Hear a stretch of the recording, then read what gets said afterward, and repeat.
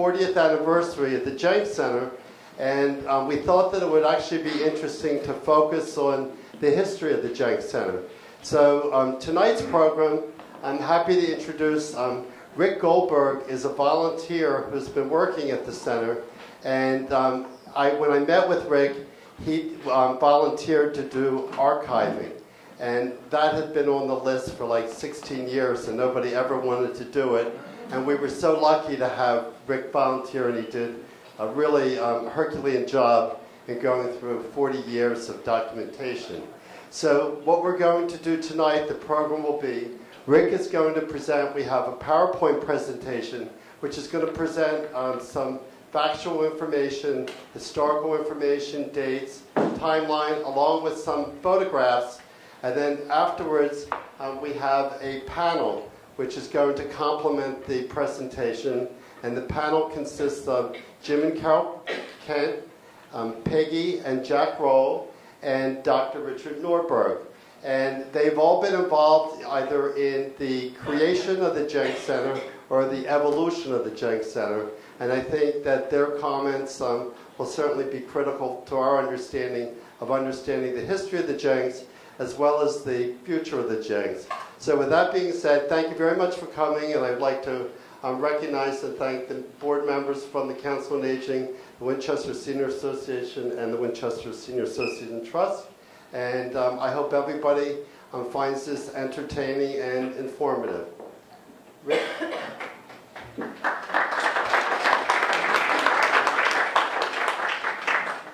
Good evening. Can you all hear me? Yeah. Uh, the Jenks Center is somewhat personal to me because I moved to Winchester the year after it opened. And over the years, I've been to many programs here, lectures, uh, town meetings, all kinds of activities. So digging through the history was very interesting for me. If you have comments or questions, please hold them until the end because the panel will be able to answer them much better than I can. Before the Jenks Center was here, there was a mansion.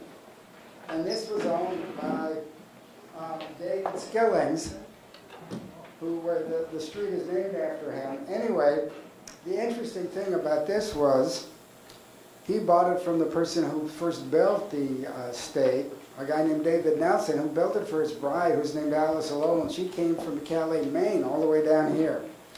And in the summertime, nobody had air conditioning in those days. This was around the turn of the century, 1900. So he opened the windows like everybody else did. And, and he invited musical groups to come into his living room and play music with his blessing, the neighbors and the townspeople came to this, to his front door with their blankets and chairs and sat under the open windows and listened to the music. It was a different time.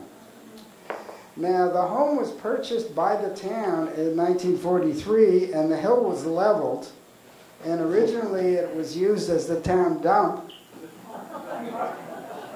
And then later a skating rink was built. Later, Dr. Norberg enlisted the help of the Winchester JCs to do a survey of 200 seniors who were 62 years or older. And they did this with face-to-face 45-minute interviews.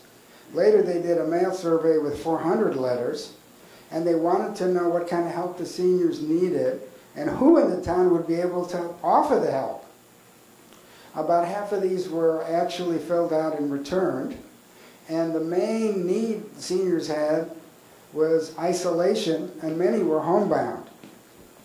Now, later, in 1972, Reverend Jack Zorheit and Peggy Wells created a committee to do something about this and they um, proposed a council on aging that would meet the needs of the growing senior population that was not being addressed by the town.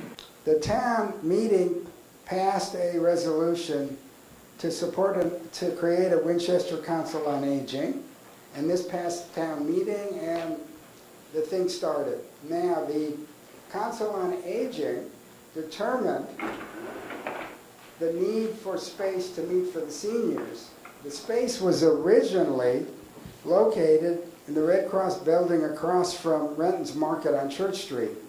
Then they met in the Knights of Columbus building, which is now the Hope Christian Church. And then later they moved to the Lincoln School balcony. One of my interests is why did these people decide they wanted to do something to help seniors when they were themselves not seniors?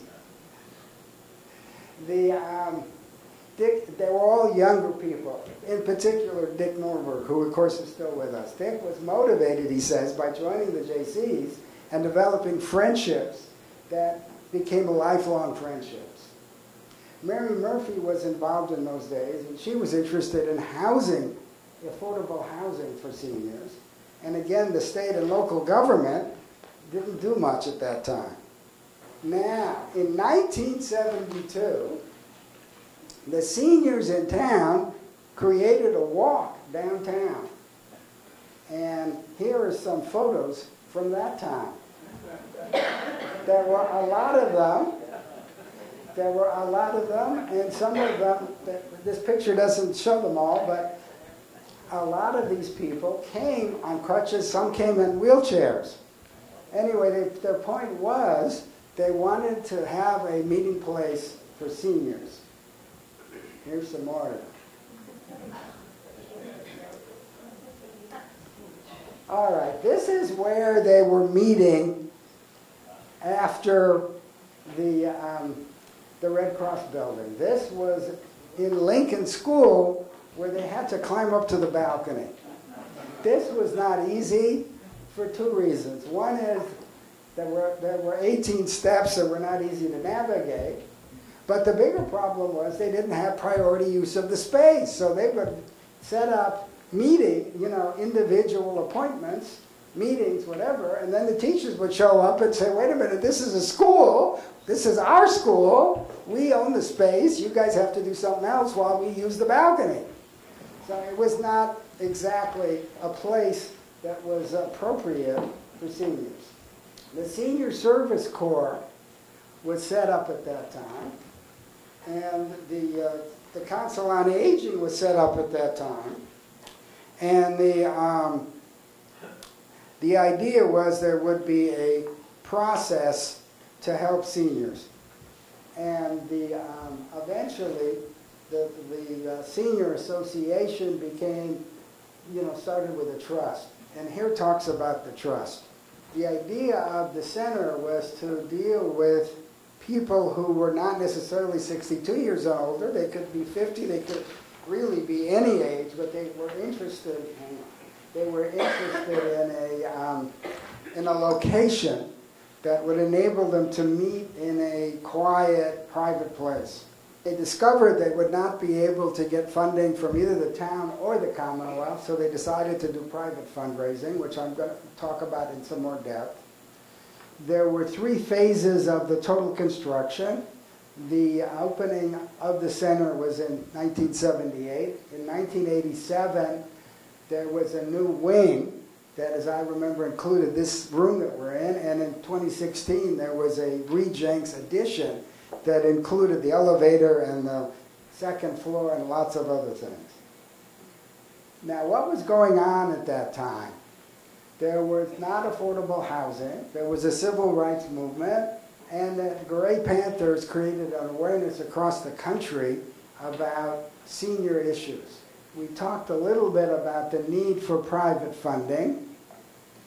One of the things that private funding would do would be to assure independence from town meeting and other and special interest groups so that the center could make decisions for the seniors by itself, you know, without being influenced by these other groups. Now, how did, how did James Jenks decide to put up money, serious money for the center? Clarence Borggaard decided to write a letter. Clarence had been writing letters for many years. Some of you remember him. Clarence lived in my neighborhood, so I got to know him a little bit. He showed me his garden. He told me toward the end he wasn't able to cook anymore, but he still kept the garden going he told me that um, it's important for everybody to exercise. His point was you either use it or lose it. He wanted to live through three centuries. He almost made it. He was born in 1899 and died in 1996. So he didn't quite make it. But he had an influence on this town that went beyond the senior center through writing letters and talking to people. He, um, he badgered the town meeting. He pointed out that if he could learn how to swim on Wedge Pond, why don't we come up with a beach for the current kids to learn how to swim? So now there is a beach named after him. The current town hall, uh, fire department, and police department were all redone because of his influence. And the senior center was a result of Clarence writing a letter and happening to run into James Jenks when James was walking to his car from his office downtown. He ran into Clarence, and Clarence showed him the letter before he had sent it to the Winchester Star. And Clarence then decided it was a good idea. Now, this is Clarence with, surrounded by his family, and he's at the bottom of this letter. So Clarence showing the letter to James Jenks is what got Jenks to decide to come up with some serious money. All right, now Peggy is going to read an excerpt from Clarence's letter. I remember seeing Clarence's letters in the Star and also his participation in town meeting. And I think he was one that always adjourned the meeting. um, okay. Uh, there is a pressing need for a place for, for people to gather. It, in the good old days, the many grocery, hardware, and other stores were built with flight of stairs uh, in front of their entrances. To do business, it was sometimes necessary for customers to negotiate four or more high steps before they could get into the premises. Such stairs and steps were eliminated forever for the very good reason that merchants had become aware that a large and growing proportion of their potential customers were found to be in the upper age brackets, who do not like to climb stairs, and some who cannot climb them at all. I write this on my own initiative, but in the hope that I speak nevertheless for all of the mostly, roughly 2,700 people who are over 62 years of age in this town, and who members proportionate to the total population are growing yearly. On their behalf, I express this hope that something will be done soon to give us the senior citizens multi-purpose center that Winchester so badly needs. I write, therefore, to keep the need for such a new multi-purpose senior citizen center before the town residents. We want, we need, and there is no question that we deserve at long last a properly designed place where all senior citizens, firm or infirm, on foot or in wheelchairs, can be made welcome, where they will encounter no stare or obstruction whatsoever, and we will find rooms specially designed for the strict privacy demanded in cases involving personal problems or other confidential matters. After um, Clarence showed James Jenks the letter, James went and talked it over with his wife, Evelyn. And he suggested to Evelyn that he give the Seniors Association $250,000 to, to start the fundraising for the center. He said at the time it was, was his hope that any gift would stimulate others to get, also give so that what had been a dream for some years might become. This, I think, is a very interesting quote. Each of us will be judged by our standard of life, not by our standard of living, by our measure of goodness, not by our measure of wealth, by our simple goodness, not by our seeming greatness.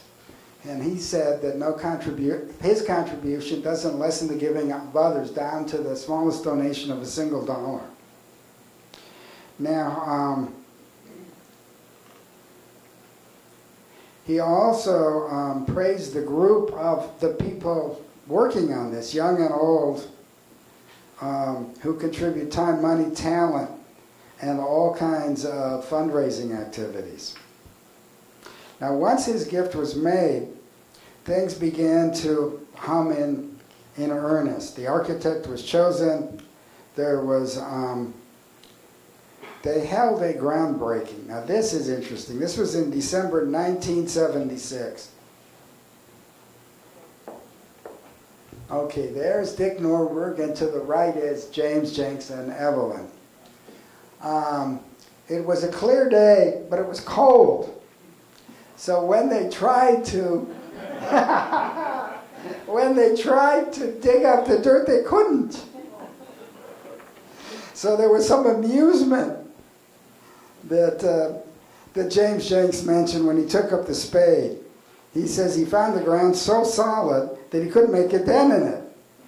Now, a friend who was a contractor, I don't know where this one is, came over and said, Look here, Jenks, let me show you how to do it. And to everybody's further amusement, he was unable to crack the, the frozen ground also. all right. Now, there were all kinds of other fundraising um, efforts that went on. And I'm going to highlight two of them that I found most interesting. In August of 1976, the Jaycees sponsored a concert in the high school of the University of California, Berkeley football marching band. And at the end of the concert, the band members came into the parking lot, and the people who came to the concert took them home individually and fed them dinner and gave them a place to sleep. Now, this is personal to me because I went to school there. And I, I, went to school there not that many years before this actually happened. And the idea that a football marching band from California came to Winchester to raise money for the Jenks Center is very interesting. The other interesting thing was this was for a Christmas party in 1978. The Woburn District Court judge named Francis Cullen and the police lieutenant, who's uh, uh, and presiding officer named uh, Andrew Crawford, donated $500 for the Jenks Christmas party in 1978. Where did they get the money? okay, they went to a group of nonviolent um, offenders who each put in $50 in exchange for having their offenses removed from their records. okay? And, um, and of course, they were nonviolent. And, and this was also in payment of their fines. So they raised $500 from the offenders. This shows the construction of the building in the wintertime. It was built in the wintertime, and there was snow inside while they were building it. And you can see from the amount of snow, it was not a small amount. Okay, here's opening day. Now, there are three, there are several remarks that we're going to summarize for this opening day. The first one is from um, Reverend Jack Zorhide. Now, he wrote a long um, speech, and I'm just going to go through some of it. He said, Here, a center of heart and hope formed by tireless builders of a dream. The creators, the workers, the givers, their meaning filled a nameless rush of days. Here, a vision of time and truth reaching back to a place before, now to grace this day tomorrow with the glad surprise of its generosity. Nor shall race nor creed tell our story, for here is a human quest bigger than single origin, hereafter, excuse me, um, broader than our faith. Here is meaning beyond the fractious measurements of definitions. Here's the place of wholeness centered in the unity of compassion. Those around you with you tell the future's truth. They are the today that is also tomorrow. So look among you to find the meaning formed yet still forming, which is and yet will be here in this space.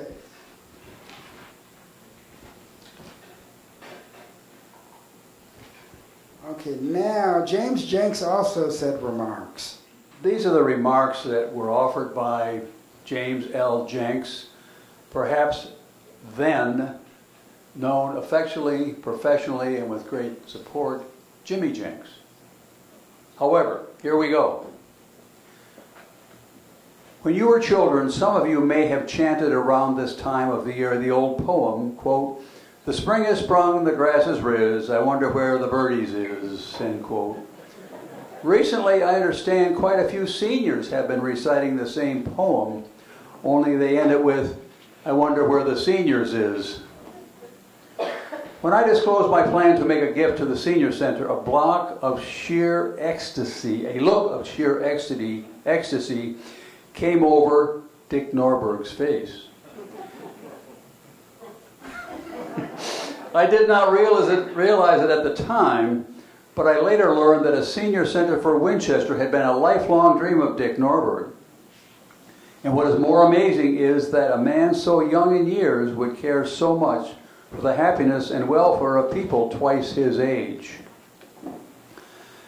As Dick now felt that his dream could become a reality, he redoubled his activity. With the invaluable assistance of Larry Hutchings, plans went forward apace. I can never praise too highly the skill, devotion, and enthusiasm of this team. I doubt if there is a nail or a wire or any detail in that Dick and Larry do not know about and have paid for in blood, sweat, and tears. Certainly no words of mine can ever convey what a magnificent job they have done. I only hope they realize how grateful we all are to them and that their interest will not flag now that they have seen their work completed. Now, of course, any building as charming as this must be handsomely landscaped.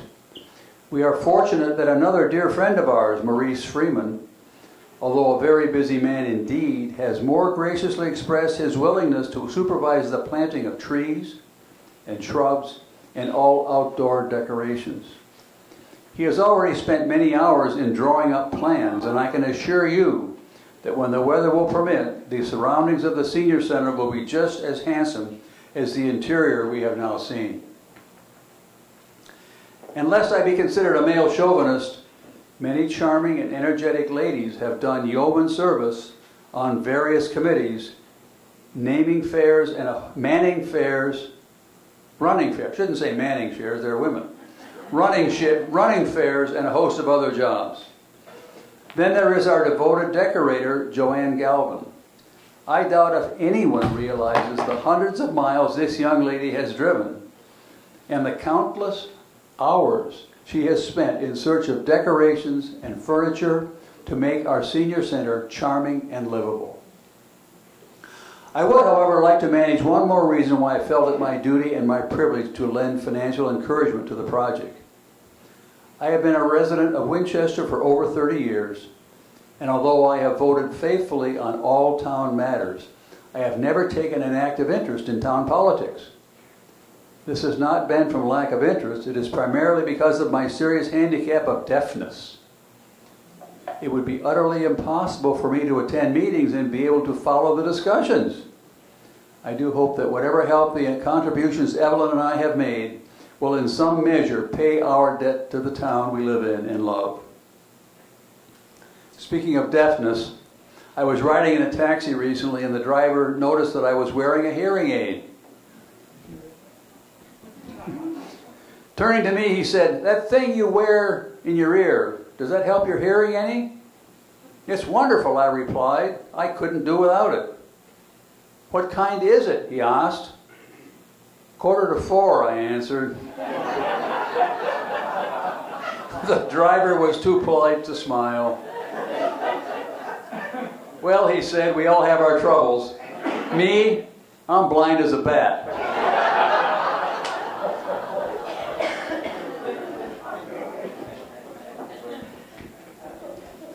Yes. He had a sense of humor. Okay, in the early days, the most important thing that happened was a hotline that the seniors could connect with the people who were there to help them. Now, there were portraits unveiled, and the one on the right hangs in the lobby, And Dick Norberg, who will hopefully mention some of this later, made remarks at the unveiling of the portrait. This is Evelyn. And, and um, she was also very um, friendly to the Jenks Center. Now, we had a few disasters. Some of you remember the blizzard of 1978. Many of the seniors in town were snowed in. Some of them couldn't open their front doors because they were iced. The people at the senior center decided they had to do something about it. They got permission from the police chief to be on the road. It was a statewide driving ban, you might remember. But the police chief said they could make deliveries to seniors who needed groceries, prescriptions, and other services. Well, Jackie Mills started doing it, but her car broke down. So Bonnell Ford gave free use of their rental car. And they were able to provide food and prescriptions and so on to many seniors, and the kids shoveled them out. So this was the beginning of you know people helping each other. There was another disaster. On New Year's Eve in 1987, there was a cold snap the night before. The custodian, Richard Fiore, decided to come at 7 in the morning to make sure everything was okay. And he was surprised. There was no heat. The pipes were frozen. The water was gushing. The kitchen was flooded. The fixtures had fallen down from the ceiling. And any of you know the anxiety of calling a plumber an electrician and waiting for them to call you back, you can imagine what's going to happen if you have a party planned that night. Well, lo and behold, they, all, they called the departments in the town, the repairs were made, and the party happened on schedule. This is amazing. Now, there were several different expansions. Here's um, Dick Norberg and Evelyn Jenks and other people in the original expansion, cutting the ribbon. Okay, these were people that were involved in fundraising for the what we call the Ray Jenks expansion, which was the final one. This is some of the volunteers that make everything happen. And it's very amazing. They're motivated, and this is the way things get done. Now, this is showing a group from the Jenks marching in the Inca parade. So, this still happens. All right, before I introduce our panel, I want to say two things. First of all, as you'd all know, the Jenks Center is not just for seniors. Nobody asked you to indicate your age when you came in tonight. Most of the programs are free of charge. Those who aren't have a very nominal cost. Uh, nobody asked you if you reside in Winchester. The center is open for people in, in various communities of various ages. And nobody asks any of these things. And to me, this is also important because the, it, it, enables the services to be provided without all these kinds of uh, boundaries. Did the taxpayers pay for it? You know, that kind of thing. This is, uh, to me, this is, uh, it resonates with feelings about providing services to the greater area. And now with stuff being available online and various things, it's, it's fascinating. And to me, that's also very important. All right, now we open it up to our panel who are going to come up here and, and answer your questions. And they um, know this history much more than I do. Dick Norberg, Peggy and Jack Rawl, and Carol and Jim Kent. And I will give a microphone.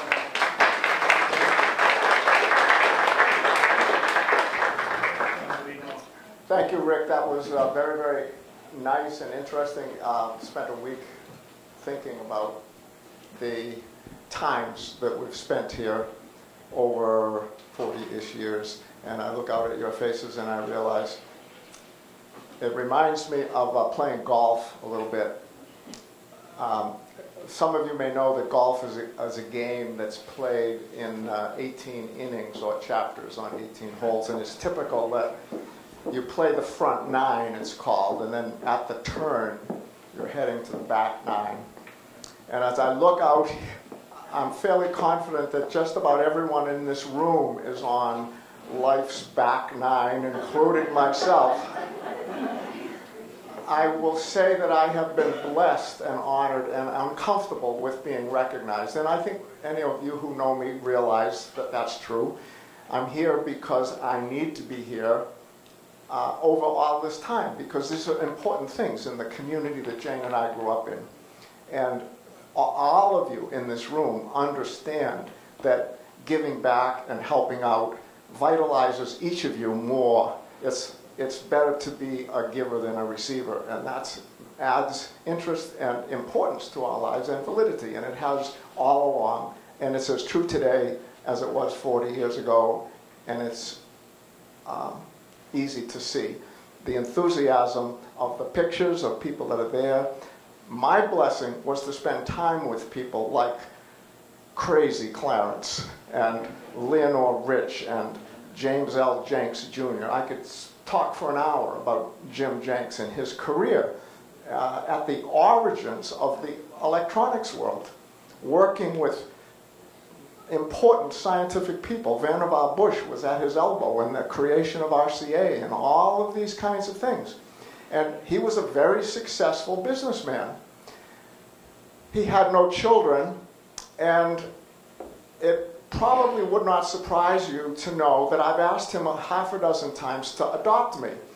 But, it did, but he was a very successful and a very bright businessman, so he eschewed that. But it was a great pleasure to spend time with him.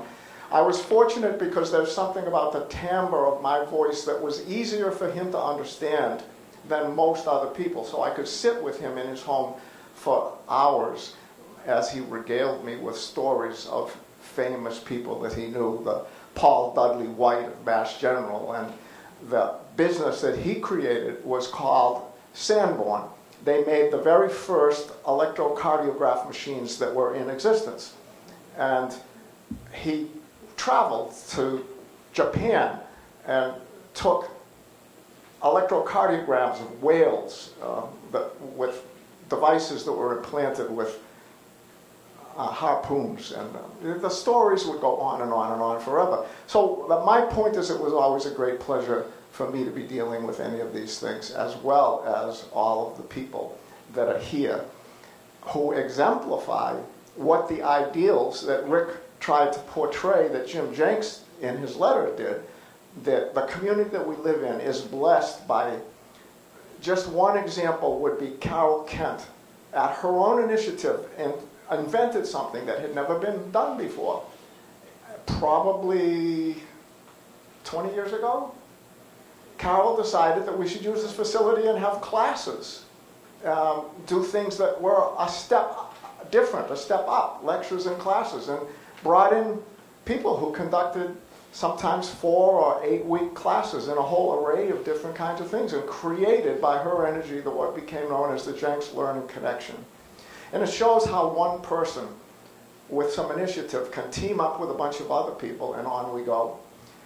So those are parts of the backgrounds and some of the things that, that, that I would share with you that um, the blessings to me personally have far outweighed the time I have spent doing it. We have an opportunity to answer or comment comments from any of you if you have questions and you want to understand um, what may have happened. Uh, just for one instance, we have a, a, creation of different organizations that have been somewhat confusing to most people from the very beginning.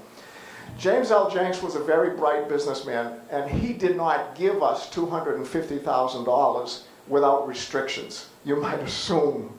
And there were significant restrictions. Among them is we had to raise an equal amount of money in the community in addition to his money. That was one.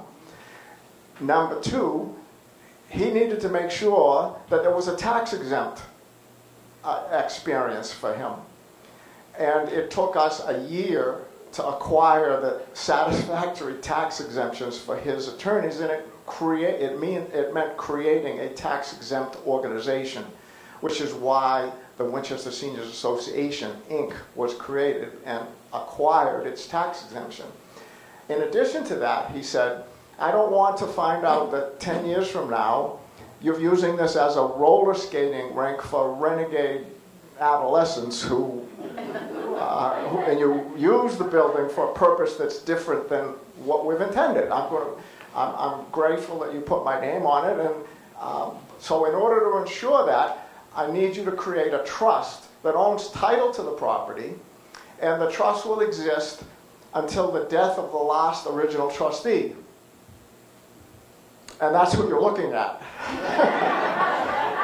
so you have to be really suspicious. If I if I disappear under suspicious organization uh, uh, circumstances, um, the group has finally got to me. So James L. Jenks had those conditions, and um, uh, it shows that he was thoughtful. And um, I think he, he said many times to me afterward, he's given away a whole lot of money, and it was mentioned too about the Baptist Hospital and many, many other things in, in, in the city of Boston.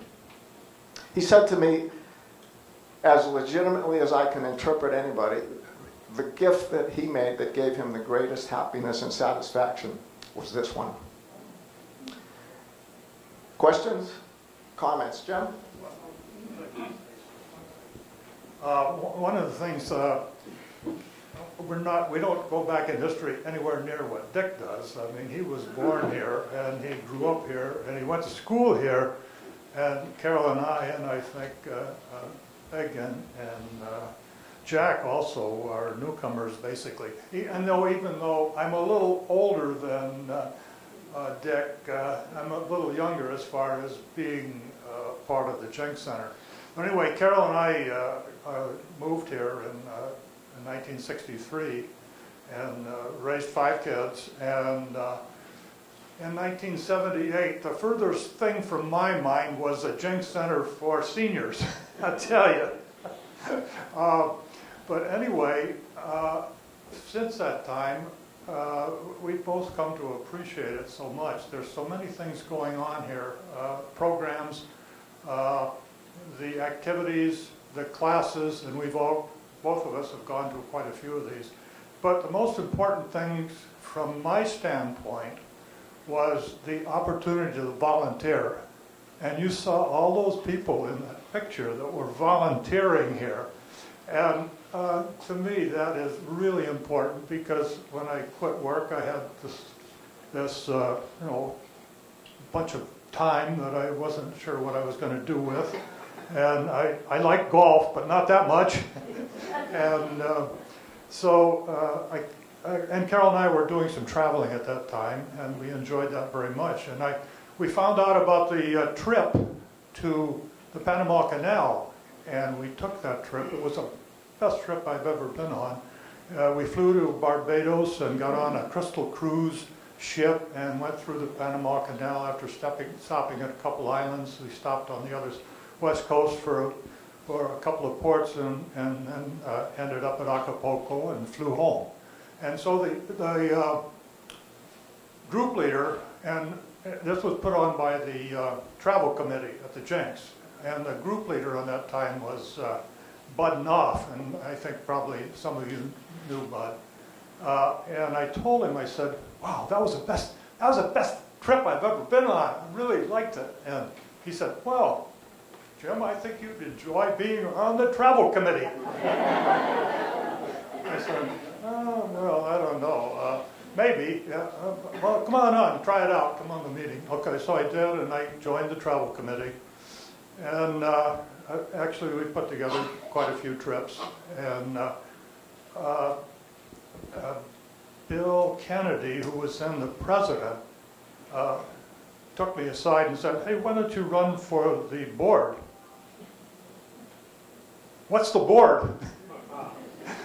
And he said, well, the board of directors, they operate the Jenks Center and they set up all these activities and things. I think you'd really enjoy it. And so I said, well, okay, I could do that, I guess. And so after uh, about a year, Bill was uh, past president and uh, Ken Estel was the president. And he said, why don't, or we about to become president, he said, Jim, why don't you uh, uh, run for vice president?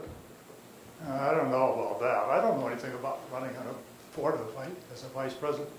So, but he said, well, I think you could do it. And so I figured I'd better find out something about how, what a board does, and particularly a nonprofit board.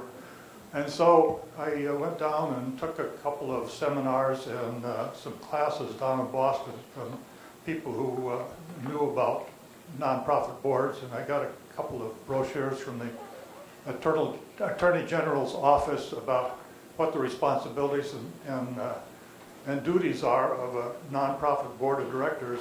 And uh, so uh, the only problem is, and uh, while I was vice president, Ken took ill and ended up in the hospital for a year, so I was really, after about a year and a half or three years or whatever it was, I was president of this place that I didn't know much about at the particular time, but uh, we learned, we learned a lot real fast. and uh, I think that's about the time that uh, uh, I, I met, well, I met Jack before this, but Jack was also involved. And uh, he uh, was the chairman of the uh, uh, Finance Committee, and at that time, the finances were a little shaky. The endowment wasn't quite, well, it was just about enough to cover the added expenses of the center, operating expenses. So he said, hey, we got to do some planning. And so, so uh, uh, he knew some uh, ex-businessmen and executive corps, and so we set up, a- I think he set it up, set up a, a group, and we put together a five-year strategic plan and, and laid out a bunch of milestones and things like that, and got the, got some goals for the finances and things like that, and so, uh, so you never know, you know, you volunteer and you start on a journey, and you don't know where that journey's going, I'll tell you. I- But every, I, I really enjoyed it, and I love working with Dick and, and all the other uh, people that are here.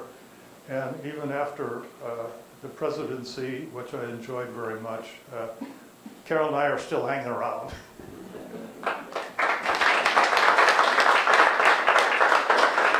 So, uh, are there any questions? Uh, We could all try to answer them. Yeah. What happened to the ice skaters that used to skate here? You know, they, they took that down. When we first moved to town, uh, the ice skating rink was here, and uh, I- as I remember, I think our kids skated on it, but I, I don't remember I- who put it on. Do you know who? Uh, Yes, I do. The, the- the photograph that you saw predated uh, Mr. Kent's uh, coming to Winchester. In fact, it predated mine. Years later, approximately 1965-ish, maybe, some of you may remember this, um, Wick Saltmarsh, who is one of the significant people in this community and has been for a lot of years, at his own initiative and with his own money, an ice skating rink on this property with foam boards all around it. It was not refrigerated, but it was a hockey rink. Uh, Wick played hockey on a national championship ho- college hockey team. I believe he served on that, uh, was in that position for two years. So he was a a devoted advocate of of the game. He built it, and that rink then, when when it went out of use, uh, became the site. So the pictures that you saw were not the rink that, that you might be referring to. No. What happens to the trust after the last trustee dies?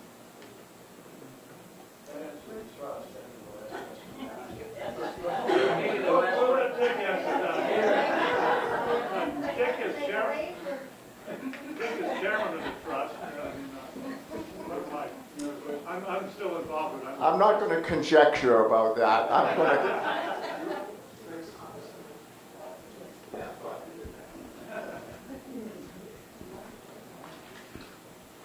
I guess what I wanted to say is, we have always loved the Jenks. We loved it before the reconstruction, it's even better now. Uh, And the thing that strikes me most, that, that I think is best, are the opportunities and the possibilities that people have down here. I don't know how many of you were able to come, but uh, last week or so, my neighbor, Andy Sarcina, uh, came down and gave a wonderful lecture to a packed house on her trip to the Antarctic, which was a fantastic trip. Well, she learned about that. The year before, she had gone to a travelogue uh, that was organized by uh, Connie Stolo in a lecture series. She heard that and she thought, wow, that's something, I'd love to do that. So she saved her money and she put weights on her ankles and started walking around town to prepare herself. And she went all by herself and she came back with these marvelous pictures that she shared with all of us. And when I, I just shake my head when I think about, you know, how lucky we are that we have her, that she, that she had the opportunity to, to share with all of us. Most of what I've been involved with down here are the evening classes, the Jenks Learning Connection, and you give me much more credit than I deserve. I did not start the classes. My neighbor, uh, Rosemary Sullivan, would raise her eyebrows she, because she's the one who started them, but I helped her and uh, have been involved in it all the time. It was a wonderful, wonderful thing to watch develop we were concerned that we had this terrific building here that closed at 4.30 and was right in the middle of town. And at that hour, you could park out here, uh, even though it's difficult during the daytime. But uh, we thought it really should be used, and this was one thing that, that we decided to do. And the classes were really very, very successful. But what I liked best about it, in, in addition to the classes, was the opportunities for the outreach from that. From the bridge classes that were here, I can't tell you how many small neighborhood bridge groups have developed from friends who've been friends for a long time, from friends who just met each other, and they're still going. Uh, there was an Italian class that had dwindled to numbers that we could no longer support, but they didn't want to give up. So they kept on meeting with the teacher in their own home. Uh, and, and I must say, my favorite morning of the week is Thursday morning because I was involved in an Irish short story class more than 10 years ago, I think. And uh, we still meet every Thursday morning at the teachers, around the teacher's dining room table, and none of it would None of us would miss it for the world. It's just, it's, it's been such a blessing in my life, and I know other people could tell the same stories. It's really great. So, I know change is not always comfortable, and sometimes it's hard to stick your toe into something that you uh, are not familiar with. And that's difficult, I think, the first time you come here. I remember when we first came, it was to uh, it was it was a potluck dinner in the fall. Dr. McLean was taking the tickets, and and I at that point I think it was in my last year of working, and I thought, oh, you know, this is very nice. I don't know if I'm quite ready for this. Well, I very soon was ready for it, and I can't tell you how happy I am that we're involved in this wonderful, wonderful place, and that you all too. Thanks for coming.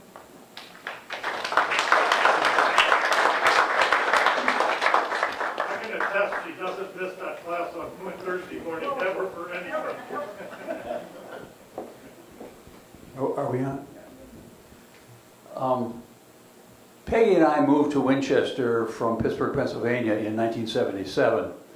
And that was roughly when the Jenks Senior Center was taking shape. And over those first few years in Winchester, we became more comfortable, more knowledgeable, and more engaged with all things local. And for us and for our, our children, this was an educational experience by total immersion. Peggy and I both had new jobs. We had five children ranging from the third or fourth grade up to senior in high school. Then we had to watch them get on, apply for and get on into college. So we were pretty well tied up. But we gradually got involved with the community and with the Jenks. Now looking back on our 41 years of residence here in the community, many opportunities have been presented to us to become active locally. And to the best of our ability and our time and our resources, we have responded. And high on the list, of course, is the Jenks Center, the Jenks Senior Center, or more affectionately, the Jenks. We have responded to those requests for support and participation with the Jenks. It's our Jenks. Looking back, my only formal, formal position with the Jenks has been chairman of the Winchester Senior Association Finance Committee. And I was chairman of that for maybe two or three years, about 20 years ago, maybe more. I was also helpful to get the executive service engaged out here. Um, some of you may remember another consultant named, another uh, member here uh, named Steve Lewis. Steve and I were both members and consultants with Executive Service Corps, and when we worked together to get the Jenks engaged as a client of the Executive Service Corps for a planning exercise, Steve continued on that team, and I moved on to something else.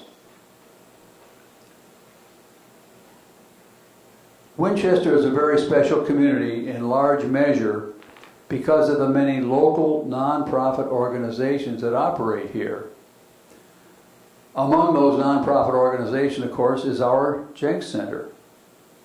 Now, I had hoped to get Amazon engaged and ship maybe six cases of wine in here for this group, but uh, it just it just didn't work out. Um, but let us figuratively raise our glass and offer a toast to the town of Winchester and to our Jenks Center with as many opportunities for productive and rewarding community service.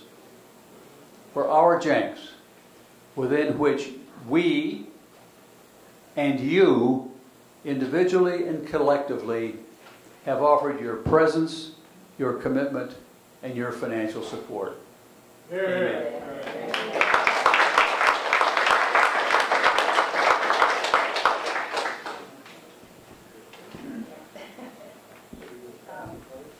Okay.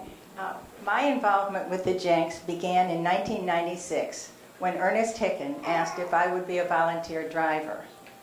I continue to drive people to their appointments today. Through this, I've met many wonderful people, those that drive, those that I work with at the Jenks, as well as other drivers. A few years ago, I headed up a hospitality committee which put on parties at the holidays, Thanksgiving, Christmas, Valentine's Day, and St. Patrick's Day. We would prepare the lunches the day before and arrange for entertainment. The first lunches came at a cost of $4 per person and were served with the help of a wonderful group of men.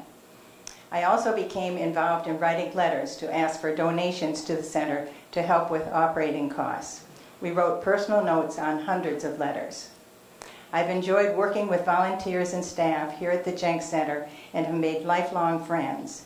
In addition, attending many concerts, plays, lectures, and events through the years has provided many years of entertainment and enjoyment. The Jenks Center has played a big role in my life in Winchester.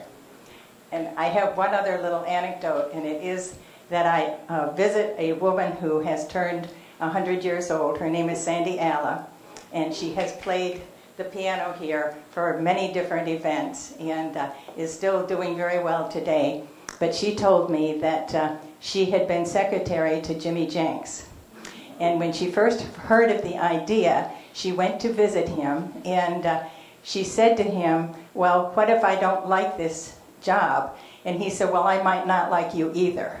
and the two of them got along famously. And when Jimmy was gone, she uh, continued on uh, to help and work with Evelyn. But I think that's a special story.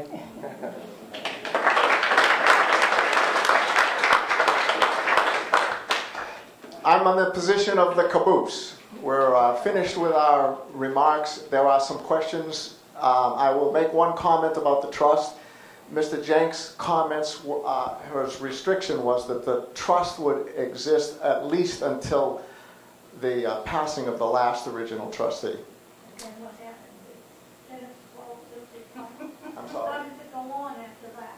Uh, there are new trustees, uh, successor trustees have been appointed, so there are currently nine different people who are trustees, and all of whom are uh, younger, brighter, and more interesting than I by far. So, uh, does anyone else have a comment or a question? I'm new here. What happened to the original scouting mansion? How did you acquire the land? The land was purchased by the town of Winchester. The mansion was destroyed. The hillside that it was on was used to fill the big bog. Years ago, there was no road here.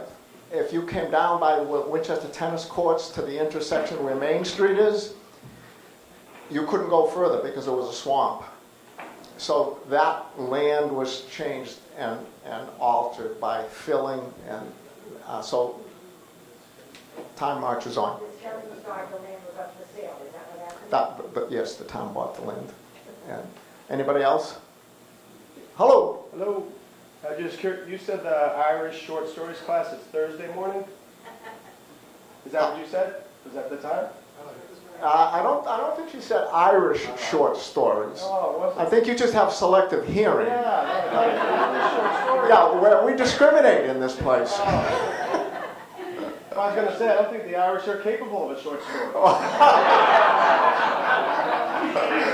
Well said.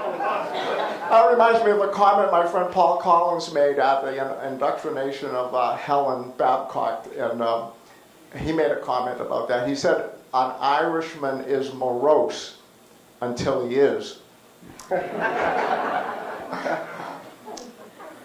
I'm going to do a, a bit of a wrap up for you, and then say, "Let's go to dinner." But um, when you look at the pictures of the volunteers that are here and you see these people, and, and I look at all of you, um, you are participating in something that has, I think you all will agree, high value and importance in the community.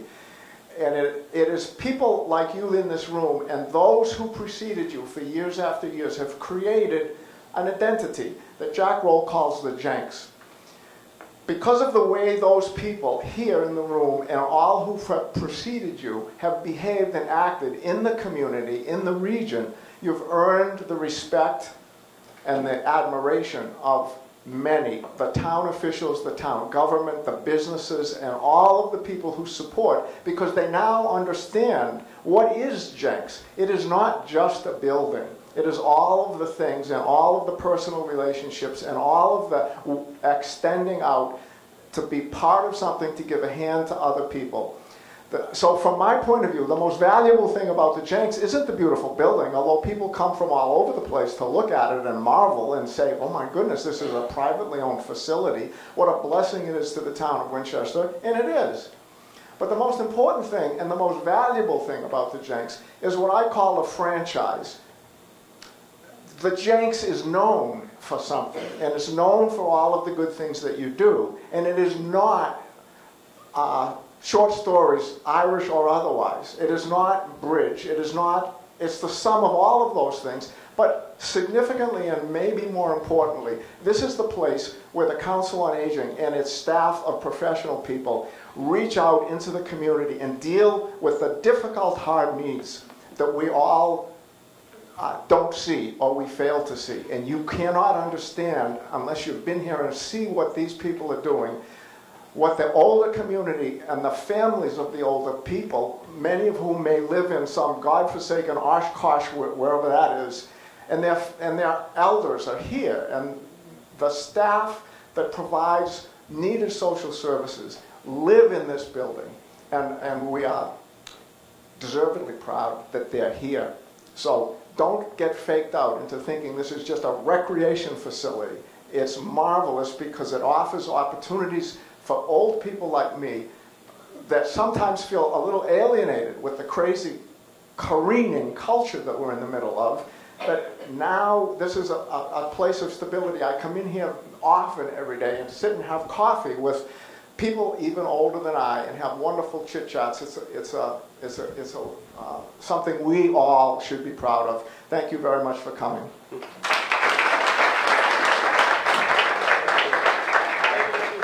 Thank you um, all the work you did for this presentation.